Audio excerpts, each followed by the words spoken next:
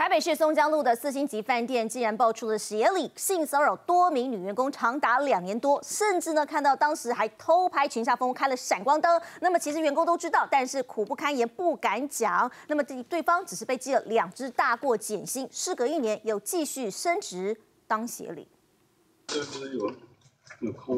西装笔挺的协理走进防务人员工作室，假装是要关心工作。突然间，他伸出魔爪，掀女员工裙底，毫不避讳开闪光灯偷拍风光。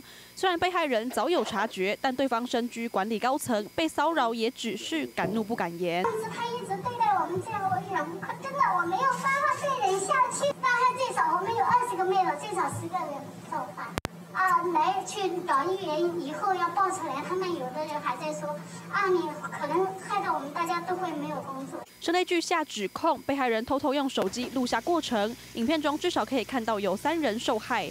从另一段影片来看，这名王姓协理几乎都快要碰到女员工的屁股了，手游已在裙底之下偷拍，再马上拿起手机欣赏。那个偷拍器大概是这样的大小，它放在他的鞋子。我一开始他他脚一直动。奇怪，为什么他今天是生病还是怎样？他脚都没办法停，所以我就看到他鞋子有一个闪的灯，所以从那次开始我就知道他偷拍的这个行为。第二次开始后，每次他来的话，我都想办法蹲下来，还是跪下来，所以他没办法。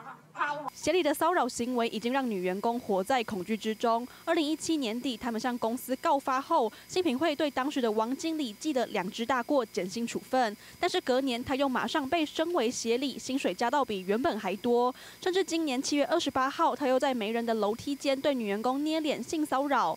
只是八月新品会还没有个结果，公司又要求他们调到晚班，让被害人觉得被针对。这个事情跟那件事情应该是不相关的，因为你知道现在疫情这么严重，我觉得这个没有什么。